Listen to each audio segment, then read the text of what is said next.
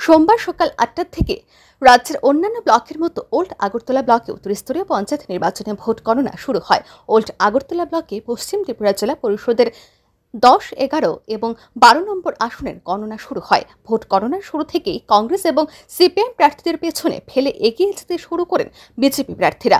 Vote গণনা শেষে জেলা পরিষদের দশ নম্বর আসনে বিজেপি প্রার্থী কামনা সরকার পাঁচ হাজার চারশো সাতাশ ভোটে জয়লাভ করেন। দশ নম্বর কেন্দ্রে সিপিআইএম প্রার্থী পেয়েছেন পাঁচশো ছাব্বিশটি ভোট, কংগ্রেস প্রার্থী পেয়েছেন তিনশো সাতচল্লিশটি ভোট।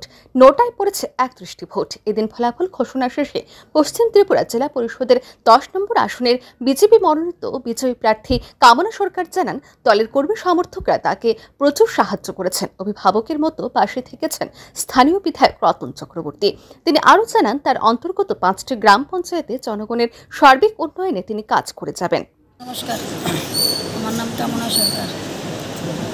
দশ নম্বর আসন থেকে আমার মনোনীয় প্রার্থী দেওয়া হয়েছে যে আজকে যে জয়ী হয়েছে পাঁচ হাজার আটশোশো ভোটে আটশোশো সাতাশ ভোটে জয়ী হয়েছে। কিন্তু আমাদের যে জনগণ আমাকে খুব ভোটে জয়ী করেছে তারা প্রত্যেকে আমার আশা ভরসা তারাকে নিয়ে খুব ভালোভাবে কাজ করবে। যে আমাদের বিধায়ক শ্রী রতন চক্রবর্তী খুব আমাদের সাহায্য করেছে আমাকে সাহায্য করেছে।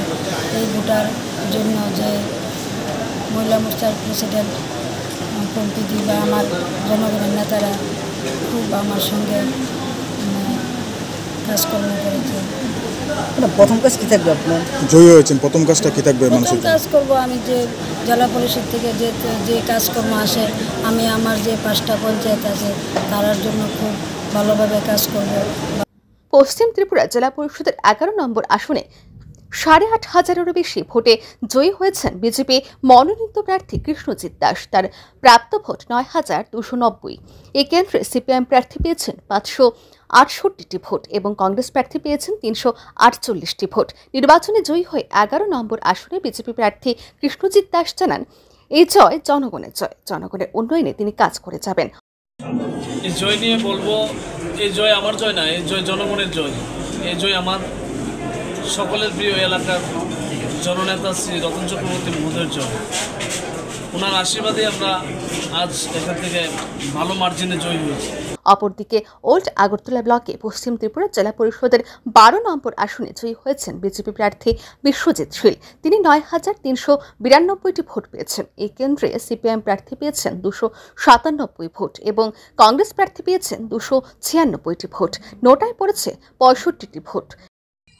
এটা প্রত্যাশিত ছিল। আমি আগেও বলেছিলাম যে একশো পার্সেন্টের উপর যে, যদি যেটা থাকে সেটাও আমি নিশ্চিত করে বলতে পারি।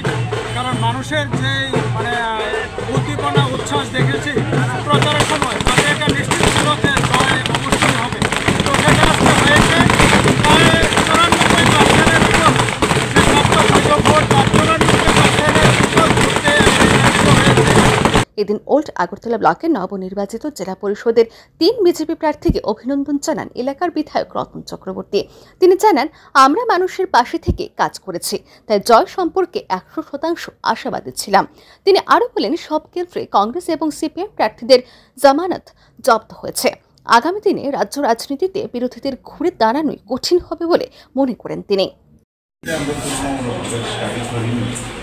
পঞ্চায়েত লোকসভাতে তো রেকর্ড ভোট হয়েছে।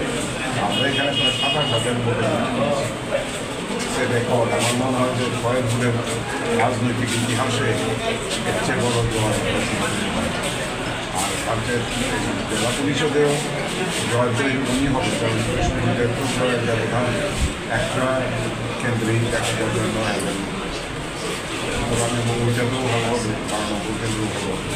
সেই ভূমিকাতে আগে থেকে আপনারা বলেছেন মানে প্রতিযোগিতাটা জাস্ট বিরোধীদের জামানত জব্দ করা। সেই দিকটা কতটুকু আপনার এটা হয়েছে জামানতটা একদমই জব্দ হয়েছে। আগামী দিন পঞ্চায়েত জব্দ হয়েছে মুখ খুলেছে মাঠের ভিত্তি হারিয়ে ফেলছে। আগামী দিন তো এদের ঘুরে দাঁড়ানোই কঠিন হবে। কারণ তাদের সমর্থকরা কার ভরসায় কিসের ভরসায় লড়বে এদের নেতাদেরই ঠিক ঠিকানা নেই। প্রথম আগের ইলেকশনে আগের কংগ্রেস, সিপিএম গলাগলি করে ভাই ভাই যুক্তিহীনভাবে সারা জীবন খুনাখুনি করেছে, এক অন্যকে গালি দিয়েছে। আবার এবার এসে আর না, আমরা আলাদা আলাদা লোক মানে মজার চলে যেমন কথার কথা বলে, এটা একটু নীতিহীন দল, দলে পরিণত হয়েছে। এদিকে পঞ্চায়েত সমিতি ও গ্রাম পঞ্চায়েতের ভোটেও বিজেপি দল ভালো ফলাফল করতে চলেছে বলে জানা গেছে। এদিন ফলাফল ঘোষণা শেষে জয়ী প্রার্থীদের নিয়ে বিভিন্ন এলাকায় বিজয় মিছিল করেন বিজেপি কর্মী সমর্থকরা। Report, R E news.